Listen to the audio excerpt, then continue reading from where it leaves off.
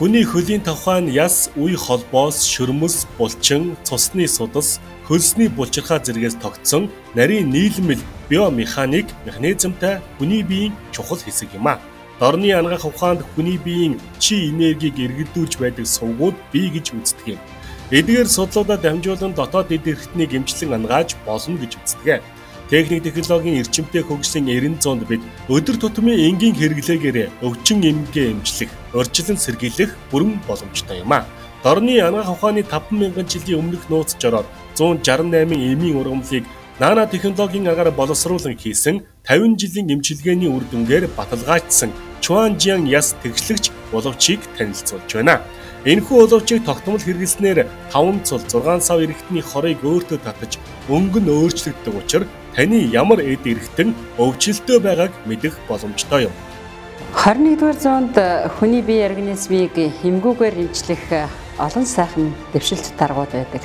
Түүний нэг бол хүний яс тэгшлэгч аппарат буюу уловч. Энэ уловчийг тогтмол байнга зүйснээр хүний нуруу, тулгуур, нурууны үеинүүд, үе хоорондын зөөлөн эдүүдийн гэмтэл үүсгээс урьсан сэргийлж хүний биеийн ерөнхий чадлыг сайн байлгах ийм боломжтой.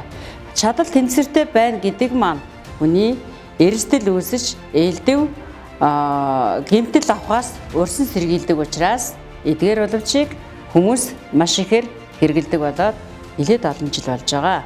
Бид нумтай, нумгүй янз бүрийн гутал хэрглэж явдаг. Тэгвэл энэ боловч Монголд орж ирснээр 35 арзмаараас дээш арзмарын гутал өмсдөг бүх хүмүүс одоо өөрийнхөө биеийг урьсан сэргийлэх, ангаах, хөлийн улны, номны эвдэрлийг засах гэд олон олон эрүүл мэндийн амжилтыг хөлийн улнаас авах боломжтой байна.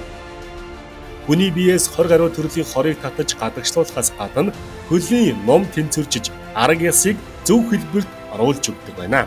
Дээрх боловчиг өдөр бүр удаан хугацаар хэрэглэх нь үр дүнтэйж бид тавгүй байгаа бол өдөрт 1-ээс 2 цаг өмсөх, 1-ээс 2 хоног завсарлаад дахин хэрэглэж болно.